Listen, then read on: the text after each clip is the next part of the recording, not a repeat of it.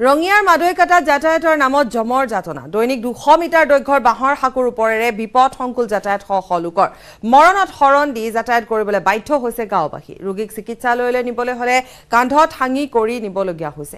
শিশু মহিলা বৃদ্ধসকলে বাঁহৰ সাঁকোৰে যাতায়াত কৰোঁতে প্ৰায় সৰু বৰ দুৰ্ঘটনা সংঘটিত হৈ আহিছে।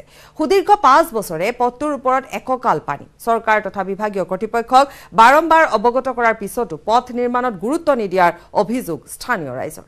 ইনামুল ইছলামৰ প্ৰতিবেদন আগবঢ়াইছো।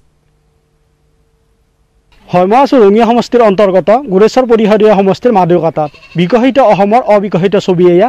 প্ৰায় পাঁচ বছৰ ধৰি এটা গুৰুত্বপূৰ্ণ পথ পথটোৰ ওপৰত একাঠু অথবা এককাল বান যাক লৈ ব্যাপক সমস্যাৰ সন্মুখীন হৈছে।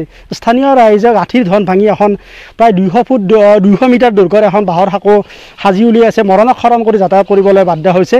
কি কংগ্ৰেছ চৰকাৰ কি বিজেপি চৰকাৰ কি বি পি এফ চৰকাৰ কি U P F L U P P L চৰকাৰ কোনো এখন চৰকাৰে গুৰুত্ব নিদিয়াৰ গুৰুতৰ অভিযোগ উত্থাপন হৈছে যাক লৈ ক্ষোভিত হৈ পৰিছে স্থানীয় লোকসকল। আমাৰ লগত কিছুসংখ্যক স্থানীয় লোক আছে।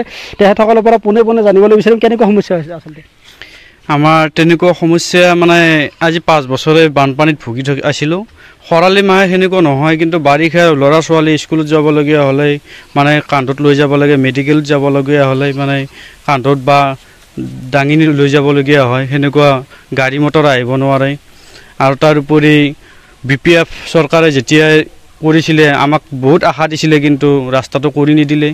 মানে কংগ্ৰেছেতো নকৰিলে আজি সোতৰ বছৰে বি পি এফে সেনেকৈ আমাক আশা দি থাকিলে। কিন্তু এতিয়া ইউ পি পি এল চৰকাৰে যদিও কিবা এটা আশা দিছেই হয়তো বা পানীৰ অসুবিধাৰ কাৰণে কৰিব পৰা নাই। কিন্তু তেখেতসকলক আমি এটাই অনুৰোধ জনাইছোঁ যে ৰাস্তাটো আমাক ভালদৰে কৰি দিয়ে। আমি সেইটোৱে কামনা কৰিছোঁ আৰু।